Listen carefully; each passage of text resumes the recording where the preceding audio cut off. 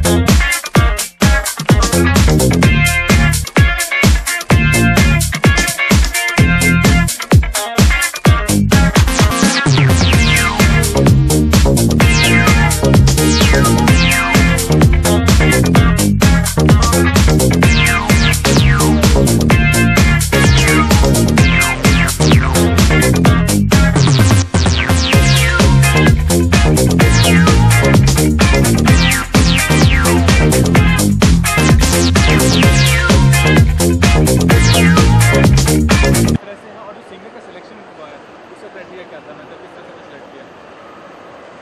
सी singer का criteria तो selection team होती है बाकायदा। वो घड़ी घड़ी सुनवाए जाते हैं। और क्राइटेरिया सबसे ज़्यादा होता है कि प्रेजेंटेशन क्या है वो आज देखेंगे। लेकिन सुर के ऊपर पाबंदी है कि नहीं वो पहले देखी जाती है और उसी से सिलेक्शन होता है उनका। आपकी समझ से क्या मतलब सिंगिंग जो टैलेंट होता है क्या? इम्पोर्ट होता है उसको नहीं किया सकता है। अगर मान लीजिए कोई एवरेज भी है है तो डेफिनेटली मेरे ख्याल से ये टैलेंट हमारे पूरे हिंदुस्तान में है और पूरी हिंदुस्तान की जनता के अंदर है बिकॉज़ यहाँ पर जो गाना बजाने का जो मज़ा सब लोग लेते हैं तो मेरे ख्याल से आम पब्लिक के अंदर है और उनको चांस मिलना बहुत ज़रूरी है। और ये एक बहुत अच्छा माध्यम है जहाँ पर कोई भी आके आपके सामने आपको पेश कर सकता है और हमको ये देखना है कि अगर इसमें टैलेंट है और इसके अंदर अगर कुछ बात है तो हम उसको डेफिनेटली पिकअप करके एक नई दिशा के अंदर दिशा दिखाने के लिए कोशिश करेंगे। लेकिन ये जो रियलिटी शो का है टेलीविज़न रियलिटी शो या रेडियो का रियलिटी शो ये कितना जेन्यून होता है अगर देखा जाए प्लेटफॉर्म मिलने के लिए? क्या मतलब जो आदमी परफॉर्म करता है जो विनर होता है उसको चांसेस मिलते हैं? देखो अ, मेरे ख्याल से आपको ऐसा नहीं सोचना चाहिए। आपको ऐसा सोचना चाहिए कि अ, ये प्लेटफॉर्म बना है और ऐसे प्लेटफॉर्म और बने। एटलीस्ट प्लेटफॉर्म तो बना है आपको चांस तो मिल रहा है। और तरक्की हो या ना हो, वो आगे की बात है। बट आपको एटलीस्ट एक मौका मिल रहा है कि आप दुनिया के सामने आके अपना अपना गाना पेश कर सकते हो। पता नहीं कौन आपको सुन रहा है, पता नहीं कहाँ से आपको कॉल आ जाए। ये तो होता ही है ना हमारे हिंदुस्तान में। मुझे मुझे लगता है कि किसी भी माध्यम से अगर किसी की हुनर का प्रचार हो रहा है तो वो अच्छा माध्यम है। क्योंकि माध्यम बुरा कोई नहीं होता। तरक्की के लिए सारे माध्यम है ऊपर पढ़ने के लिए।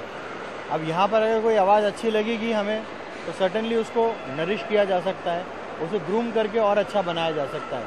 अगर एक एवरेज सिंगर है तो उसको और अच्छा बनाया जा सकता है, और एक ऑलरेडी टैलेंटेड सिंगर है तो उसको कॉन्फिडेंस मिलता है।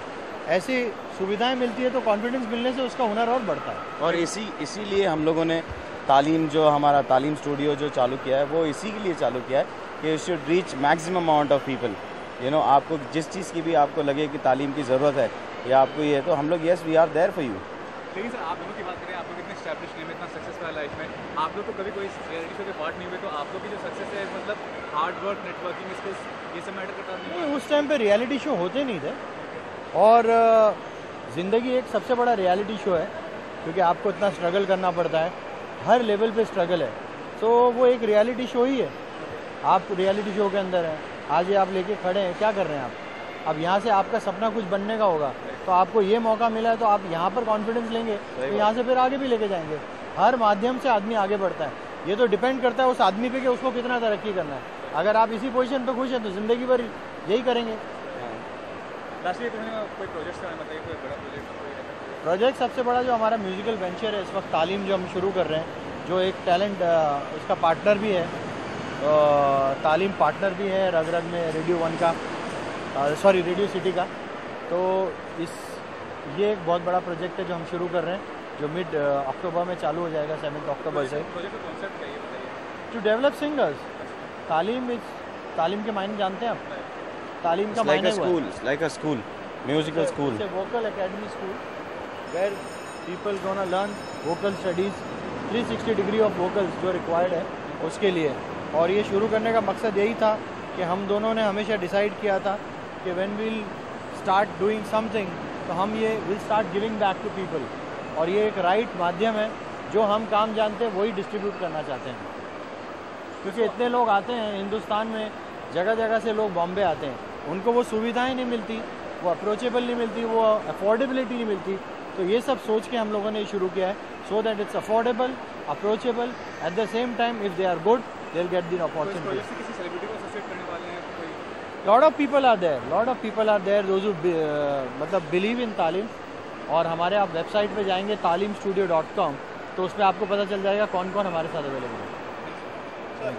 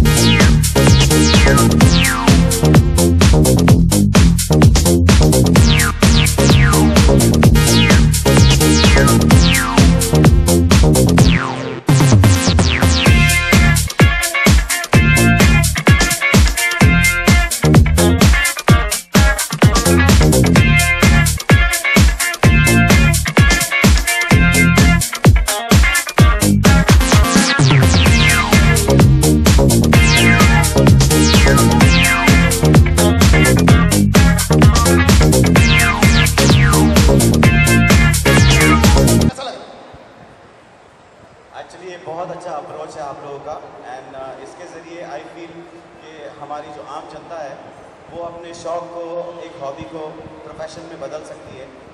और मुझे ये लगता है कि पूरा हिंदुस्तानी म्यूज़िकल है।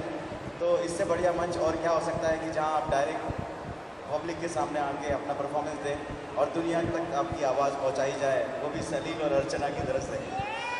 रेडियो सिटी 91.1 के लिए तालियाँ। नहीं लेकिन उसके लिए तालियाँ तो है। सबसे पहले जोरदार तालियाँ हो जाए यार। पब्लिक सो रही है क्या? सो रहे हो क्या यार। क्या यार ऐसी जीन्स पहन के टी शर्ट पहन के सो रहे हो ऐसे सोया नहीं करते अभी। जगाने वाला म्यूज़िक चालू होने वाला है। क्योंकि हम लोग जहाँ पर भी जाते हैं जगा देते हैं लोगों को। आई थिंक आपको जगाना है कंटेस्टेंट्स को और सारे यहाँ के पब्लिक को। आप आए हो तो थोड़ा आज फिर तुझे। भाई सलील बोल रहा है कि अगर आपने अच्छा गाया तो दोनों गाड़ियाँ हमको मिल जाएगी ये सलील है ना एक्चुअली पहले से चॉकलेट दे रहा हम लोग को। इसको चॉकलेट देने का बहुत शौक है। रेडियो स्टेशन बुलाकर सबसे पहले चॉकलेट दे रहे थे में आज लविंग चॉकलेट दे रहे हैं। गाड़ी की सर ये लोग जो हमें दिया आपको सीधा दे दिया अभी फ़िलहाल। मंच पर आए गाए कि नहीं गाए? यार एक चीज़ मेरे को समझ नहीं आती। एक सेकंड लाइव देखने का मज़ा कुछ और है। फ़ोन पे बाद में रिकॉर्डिंग कर लेना लाइव देख रहे हो ऐसे ऐसे रिकॉर्डिंग ये मतलब समझ नहीं आ रहा, सुनना है कि नहीं? तो तालियाँ जोरदार बजाओ। पहले लेफ़्ट